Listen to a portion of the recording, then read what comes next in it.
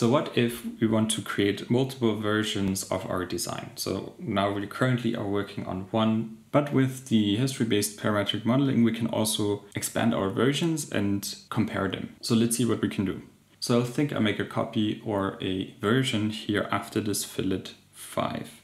So what I'll just do is deselect everything and then go to the transform tools and move my body and make sure to hit copy in order to create a copy of that. And let's also remember this dimension here, 200 millimeter to the side. So everything up to this point here in our history will be moved and copied over to our next version. So after that we have our fillet and maybe this is something that I want to change or let's make use of our direct modeling tools and just zoom in here and change some of these elements.